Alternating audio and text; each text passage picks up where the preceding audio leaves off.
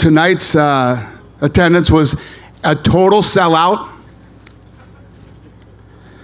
Gate was 2.06 million.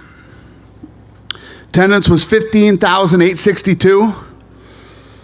Um, the, uh, where's she got him here? Okay, fight of the night was Mendes and Volkanovski. And then uh, the performance of the night went to Amanda Nunes and Ryan Hall. They all won $50,000. Congrats.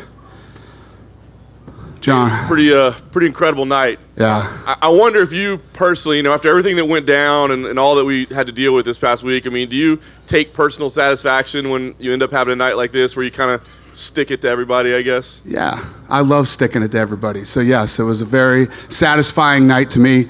Um, it- it's unbelievable how when we go into you know a week like this, um, just the, the the backlash and negativity and bullshit that you have to read and all this stuff that goes on dur- during the week of a fight like this. I saw this. You know, I, I get it for you guys that it's. Um, there's an ocean of Twitter tweets and Instagrams and all these things, and I, I- I guess saying stupid things sometimes makes you stand out. Uh, what's his name tonight? That idiot's name that I can't stand? Darren Rovell tweets out, "The fuck does Darren Rovell know about fighting?" Number one. Okay, let's let's start with that. And he says uh, the UFC got destroyed tonight because Cris Cyborg lost and Amanda Nunes won, and she's not marketable at all. And fucking, you know, it's just like I, I listen. I'm pretty resilient to this dumb shit, but oh my god. Anyway, yeah, I'm pretty happy.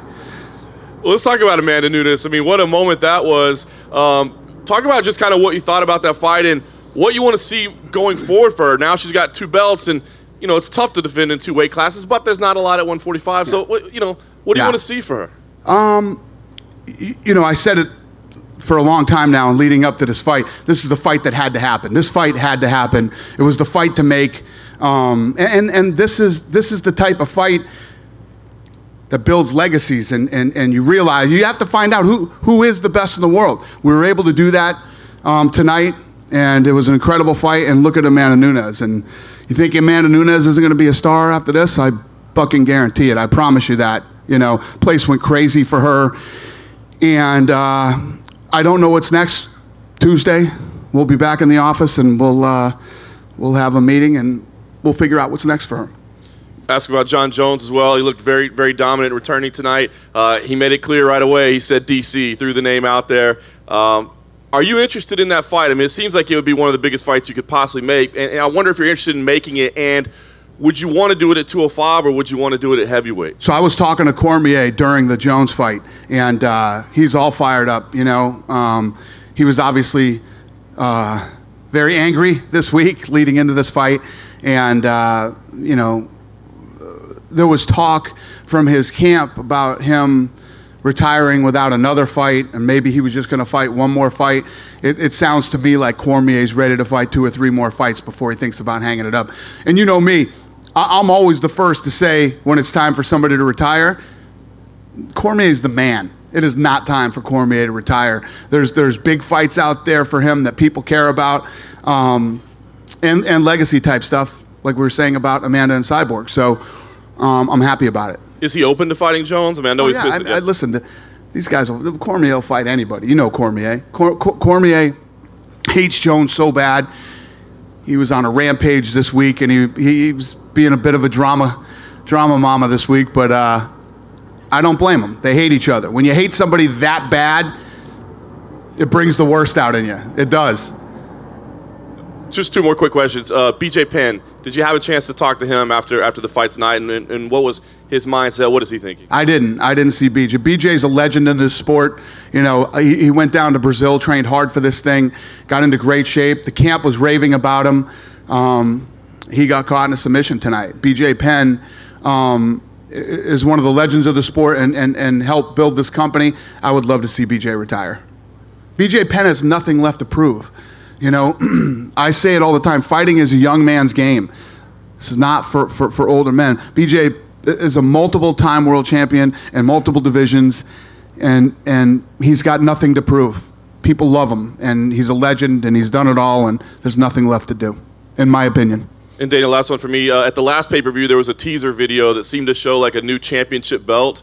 Uh, that, that, was dated 1229. You know, tonight, yeah. Those those belts look the same to me. What, what yeah. was that about? what, what, what happened? Oh, the the shit show that went on this week. You know what I mean? We felt it wasn't the right time to do it.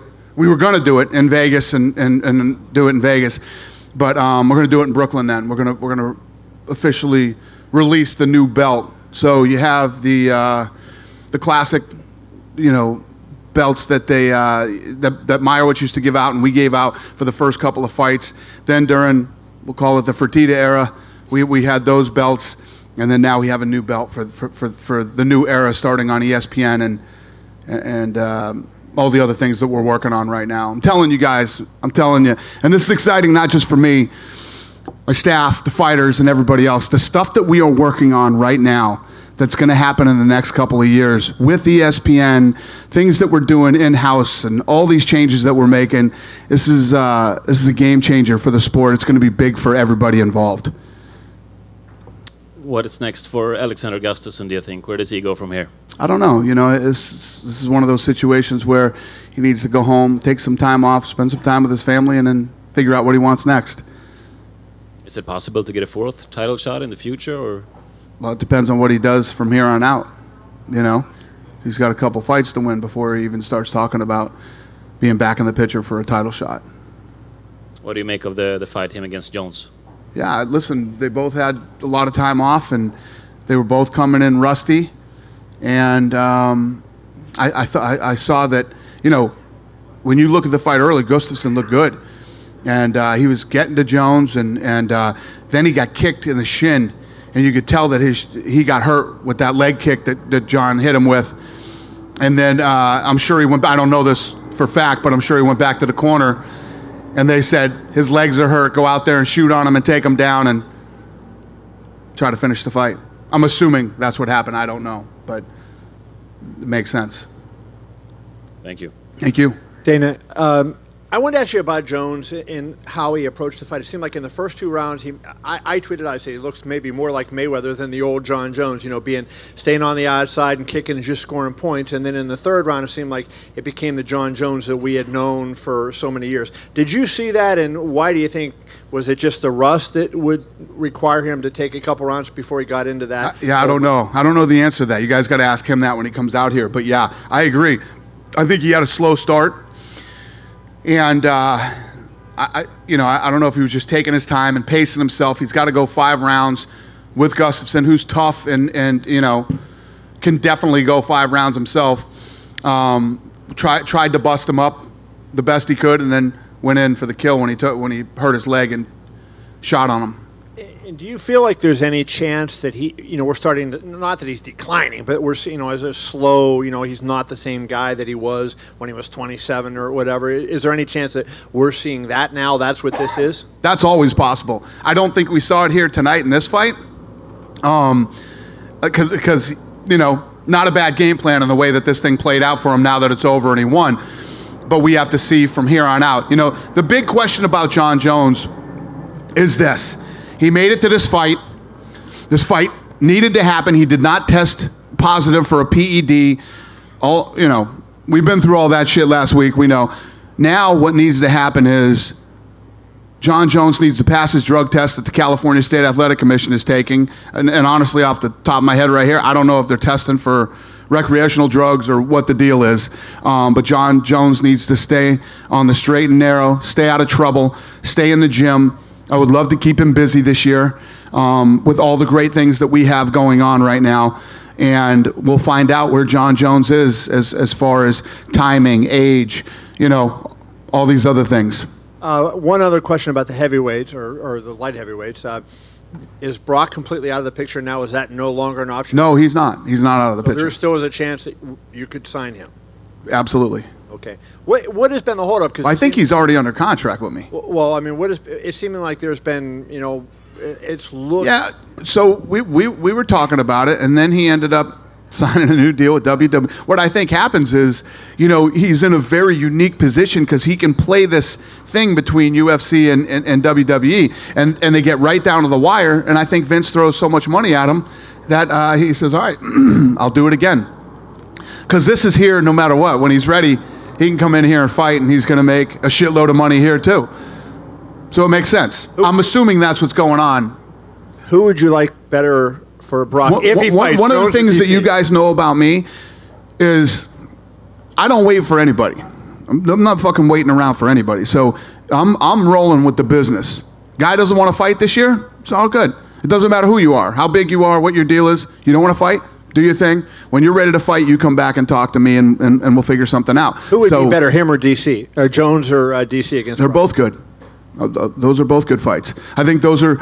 I think Jones, DC, and Stipe are all three good fights uh, for for Cormier. If Cormier wants to do three more fights, And if I could ask you a couple about Amanda, do you feel like you know beating Valentina, beating uh, Ronda, beating Miesha Tate, and now beating Cris? She's the best ever. She's the best ever. how, how can you deny it? You can't deny that she's the best ever. That's what this fight was for. You know, this fight was to find out. But if you look at her resume and who she's beat, she's the best ever. You can't. No, nobody can dispute that. You can try and you can say some stupid shit, but she's the best ever. And, and lastly, about her, can you quantify like her punching power? Because I, I don't, know that we've ever seen a woman fighter that punched the way she punches. I agree. I agree. And, and the other thing was one of her big things going into this fight, which Cyborg talked about a lot. She's like, I need nine months. I need to put weight on. She's like, I'm going to go fight this chick. This chick's going to come in at 165 pounds. I need to put more weight on or whatever. I don't necessarily always believe in that.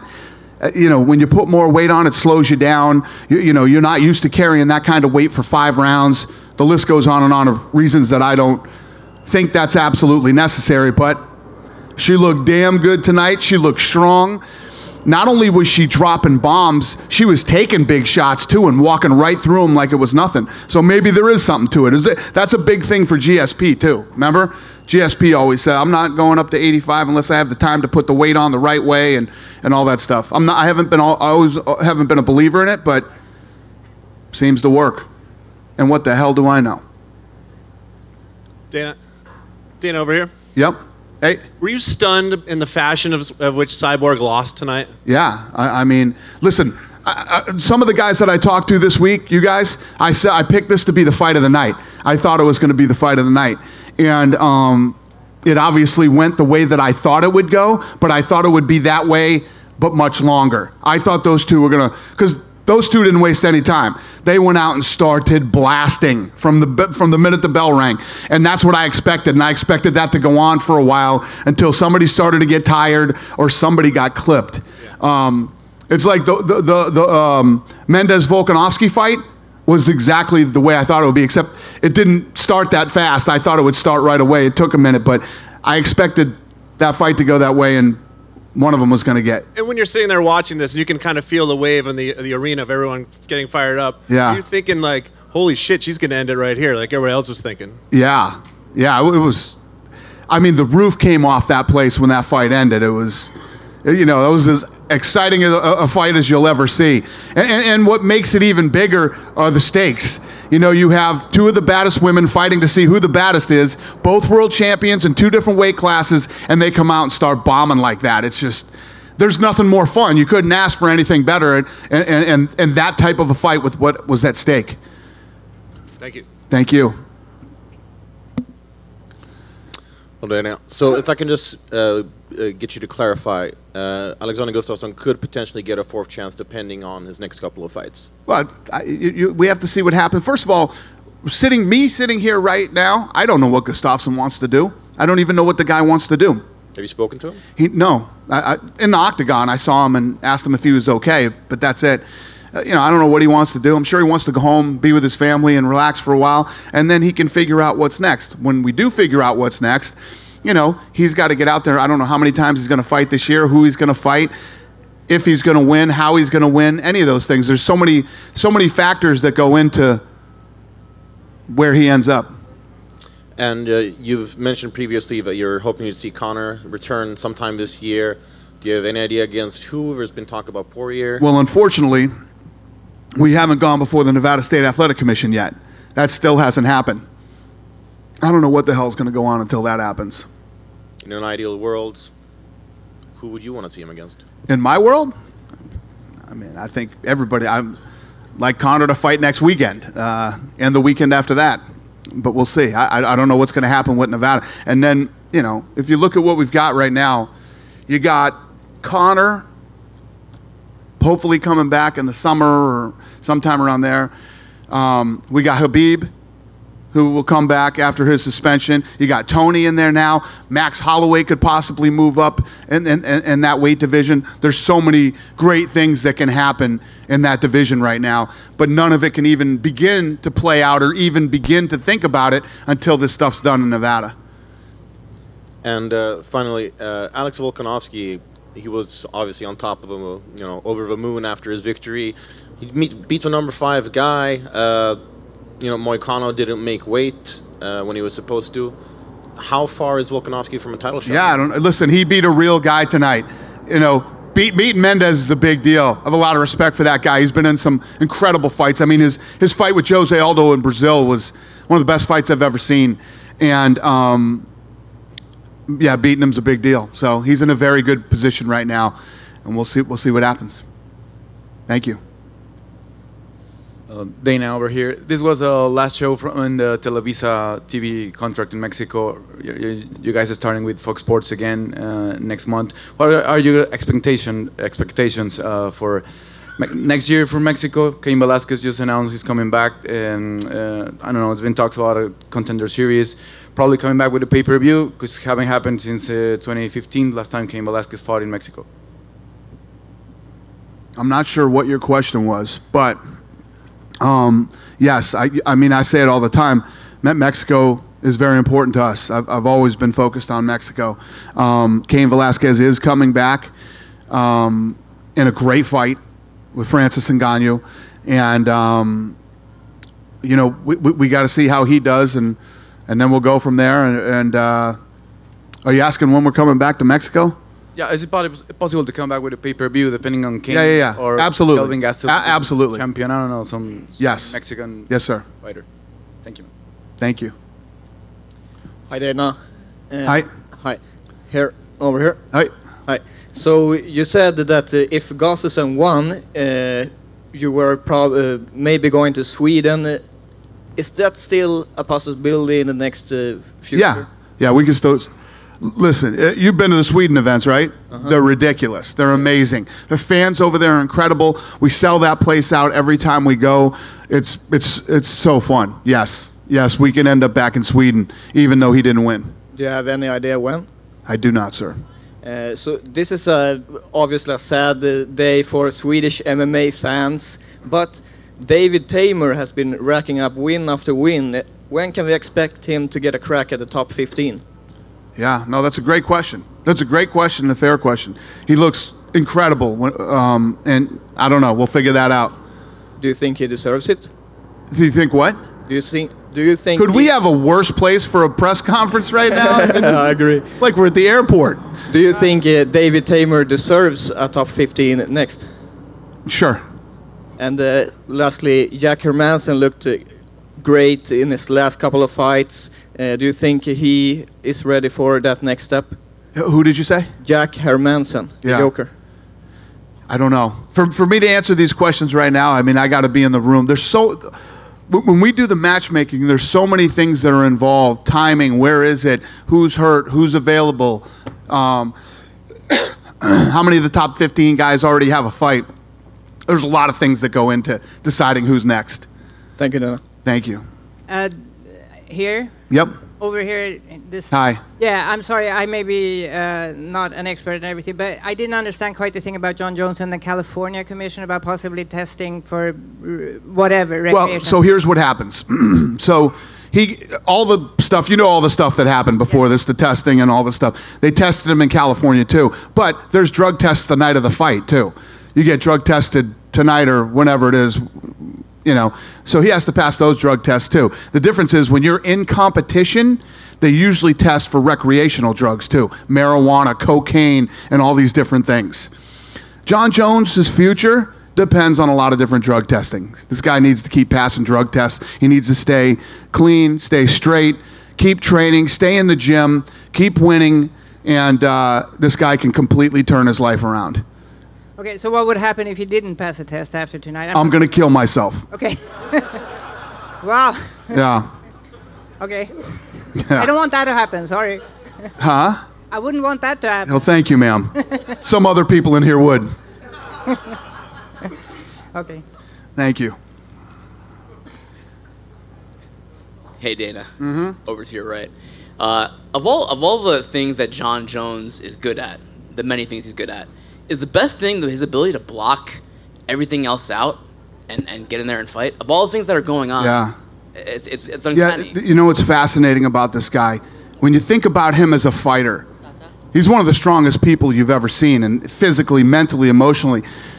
All the all the drama that was going on this week, and you know, not being able to fight in Nevada and all this stuff, he really did keep it together. And and you know, I've I've seen many many fighters crack under a lot less pressure. Um, you know, and the thing is with the guy, if he can get his personal life together who knows what this guy could accomplish? Knows what he could do. Cris Cyborg is going to her final contract, uh, final fight on her contract now. Is is a rematch? Does that make sense? She hasn't she hasn't lost since 2005. Do you, do you go right back to Cyborg Nunes too? I don't think you do. No. No, I mean, you know, it's a pretty convincing win. Sure. You know, So what do you do with Cyborg then at that point? I, again, I gotta, I gotta get back in the in the lab and figure it out. But we'll we'll we'll, we'll come up with something for her. Uh, a couple last things. Uh, Cat Zingano, that, that whole situation where she got uh, a toe in the eye. Have you ever yeah. seen? Have you ever no, it's seen pretty crazy. I've heard of it happening, but I never saw it before. Um, unfortunate and one of those just wacky. If you think about a, an MMA fight between two really good MMA fighters, and the kicks and the punches and the elbows and all the things that fly around, really is a, a, very unique and odd injury. But I've heard of it happening. Happened to uh, uh, the coach there. Winkeljohn. Winkle, yeah. Should, should that be treated like an eye poke? Like a, like a like a you know maybe like a I don't know what you call it. it's, it's actually a toe poke, but uh, I don't know. I, I don't know. It, it, it happens so infrequently. It's it's tough to make a call on that. What's that? Yeah. So apparently, he, Yeah. yeah. you heard him. Uh, last couple of things, Dana. Uh, Ryan Hall. What, what do you make of Ryan Hall? You know, he, he doesn't fight for two years, comes in, submits BJ Penn with a heel hook. I, I don't know. It's, uh, it's incredible, crazy. I, I mean, the one thing that I liked about listen, I, I you know, and I don't want to piss BJ off because I love BJ, but you know, I, I would like to see BJ retire. So in setting up this fight, it set up the perfect fight where it's a submission match between two incredible submission guys. Um, and for him to submit BJ the way that he did, as fast as he did, it's a big deal for that kid, you know. And I'm sure, like like Rogan said, I'm sure he grew up idolizing BJ Penn. So to be able to pull that off is, it's incredible. Hall said he's having a hard time finding fights. No one wants to fight him. How do you how do you match Hall? him up? Yeah, that's what he said. He said no one wants to fight him. I mean, he's he's like the ultimate specialist, right? He's There's no problem finding fights around here. We can find hall fights. We can get hall fights. And uh, and last thing, uh, Nick Diaz, I believe, said recently that he's actually not going to fight George Masvidal uh, on that card in March in, in Las Vegas. He said he's not doing it. Nick Diaz. Any any response? Any any clarification on that? I think that's pretty clear. All you got to do is watch his Instagram. I don't think it looks like he's training for a fight. So that so that fight's not happening. That's that's, that's yeah, it. no. Okay, thanks. Yeah. Yeah, Dana. Yeah. Uh, so Cyborg was really the only featherweight fighter, pretty much. She and, and Megan Anderson were really the, the original featherweights in that division. Now that Amanda is the featherweight champion, do you have her defend that belt? Do you hire new girls to fight on that division? What's the future for that division? I don't know. I gotta I gotta figure that out. I got I need to talk to Amanda and, and see what she wants to do, and uh, and we'll figure it out.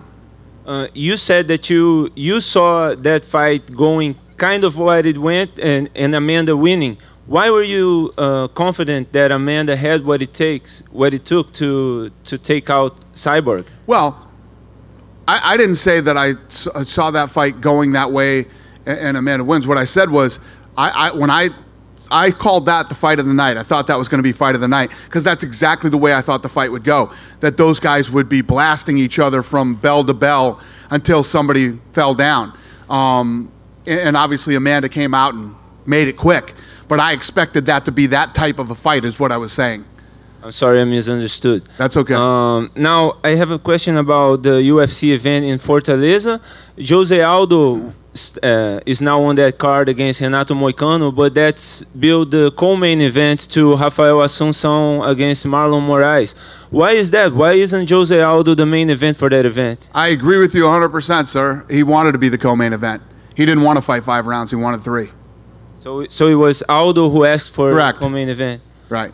All right. I agree with you. That should be the main event, five rounds, and should be the fight. But he said, I want a three round fight. And you don't say no to Jose Aldo. Do you are those two fights, Rafael versus Marlon and Jose Aldo versus Moicano, uh, number one contender fights? Um, I, I don't know if I'd call. Obviously, the, the Sun fight is, yeah. That's a number one contender fight. And uh, lastly, uh, I want to ask about something that you were saying during the summer that the morning weigh-ins were gone and that you guys were going back to just having the the ceremonial weigh-ins be the official weigh-ins. Right. Since then, you haven't mentioned anything, and it and it stayed all throughout the year. What That's a good question. I don't remember what the hell happened to that. You're right. I forgot about that. I, I don't. I don't remember what happened. Do- do- does it mean that the morning? I, I think that a lot of people were complaining about it, the fighters and stuff, and, and, and maybe we just said, okay, then we won't do it. I don't remember exactly though. We could find out from my people. I don't remember exactly what happened, but I think that was what happened. and and do the the the flyweight division stays after after Cejudo versus We'll see. We'll see what happens. We'll see what happens. Dana, you just mentioned that um, the Stockholm cards are typically pretty crazy. Are there any plans to expand to any of the other Nordic countries? For instance, uh, Finland has Makwan Amirkhani, Teemu Packalén. Uh, a number of different countries have really active and excitable fights. Yeah, I say this all the time. I mean, we're going to go everywhere. We're going to continue to go everywhere. And some of the things that I said earlier we're working on for, for 19 and 20, I, I, I say this every year, but every year we take the sport to another level. We literally take it to another level every year. Um, and I, ha- I have to say that this year, the stuff that we're working on is going to be our most progressive year in the history of the company. We got a couple things we need to get through here in the next several months, which I'm very confident will happen. And uh, we're going to blow your minds again. I'm looking forward to it. Are there any specific plans for countries like Finland, though? No, not right now, uh, off the top of my head. Thank you. Um, there's a guy named Pete Dropic who, who handles all of our venues, venues and scheduling, and we all get in a room, we sit down, we start looking at different places, what's available, when, what fighters are available for those shows, and we make decisions to move into a new city or a new country or you know whatever it might be. So a lot of that stuff isn't in place yet. We're still working on it, especially now with ESPN. Um, schedule is actually tougher to make with ESPN because these guys are wall to wall with you know with sports. Um, Dana, it sounds like you do have a, lot of exciting stuff coming up next year. When you look back uh, on 2018, though, I mean, there, there were some, some highs and some obviously some, some difficult times in general. I mean, how, how do you characterize 2018? For That was a great year. I, I, I feel it was a great year for us, a great year for the sport. Our last year with Fox in a seven year deal, these guys were amazing to us. It, it- it was a really great relationship. It was, it, it was fun. And, uh, and then as far as, as far as lows, this is a crazy ass business we're in. I mean, we just moved this event in three days. You know, it just there's always something going on here. This this this business is worse than a hair salon, man. It's it's so much drama and crazy bullshit in this business, but it's part of what makes it so fun too. And then obviously there's a, a big card coming up in Australia with Volkanovski's win. I mean, Robert Whitaker is obviously a, a big star doing amazing things. Yeah. What what can you sort of you know point at that, you guys did so right in that market? Um, listen, Australia are, is full of fight fans, man. That whole area over there is insane. And that's another one. I can't remember because it feels like it was three years ago to me. But we put that thing on sale and it sold out in, in like a day or hours or something. I, I can't remember how fast, but it sold out so fast. You know, Israel, versus Anderson Silva, and then obviously the main event with Whitaker and, and Gastelum. That car is going to be sick. I'm flying over there for that one. I can't wait. And uh, you know, for those of you from the media that have never seen a fight live in Australia, trust me, go to this event. The crowd is insane. It's it's going to be a very very fun event. I hope I answered your question. Then uh, one of the first things that Amanda Nunes said is, uh, "Then I have to be in a Hall of Fame." What's your comments on it? She said, Dana, I have to be in the Hall of Fame? Yeah. You're a little young, lady. Calm down. Slow down. She's obviously going to be in the Hall of Fame eventually. She's, she's the greatest female fighter ever. That's the first thing she said. And Yeah. also a question: a lot of fighters from Russia they have a problem getting a visa to America. Would you like uh, them fight in other countries, or will we see more of UFC events in Russia? Well, it's, it's not like we've, we've, we've never had issues before, you know, getting people into the country and, and all these different things. We have, we have our, our team that works on that does an incredible job. Um, and yeah, if we usually have those issues with people, we'll put them in fights in other, you know, you fight in England or you can fight over here, you can fight over there. We, we figure it out. Will we see more uh, UFC events in Russia in 2019? Yes. Thank you. We good? You done with me? Oh, this guy, go ahead.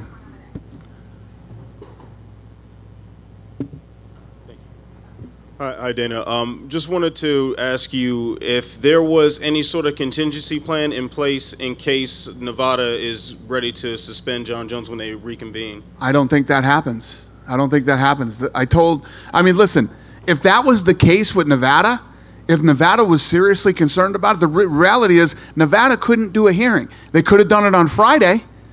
And I talked about with this some guy, some guys the other day. I'm a degenerate gambler, but I ain't that much of a gambler. Okay, I wasn't willing to risk that. Um, if I have an ace and the dealer has an ace, I'm taking even money all day. So we moved the thing to California. They could have stopped us from moving to California. They could have told California they weren't comfortable with it.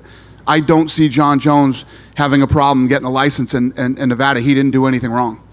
Gut, gut feeling or lines of communication open with Nevada right now about uh, what, what you can expect when they reconvene. I don't. Yeah, I don't know what to expect, but I would be blown away if they didn't give him a license to fight Nevada. It makes no sense. Makes no sense at all. We good? Yeah, go ahead, buddy. Yeah, it's coming. Dana, so you know you and Oscar have been sparring again and back and forth. um, what's really at the source of your conflicts here? What what started? First of all, this all started with him telling people not to watch Mayweather versus McGregor. Who does that? You know. Um, then he came out and said that you know all, all he basically lied about what guys had been paid, what we were paying fighters, what Chuck Liddell made, what Tito made. He's a liar, and I called him out for being a piece of shit and a liar, basically. Um, you know he's he's said over with his MMA, of course, and you've talked about boxing. Are you still trying to get into it? Now you're with Roy Jones. Wait till you see what we do this year. Wait till you see what happens with Oscar De La Hoya in the next three years. So what's your prediction for DAZN? Listen, you guys know me, man. You've, some of you have known me for a long time. You want to battle? I'm your guy. I'm your guy. Let's do it. Good? Thank you guys very much. I appreciate it.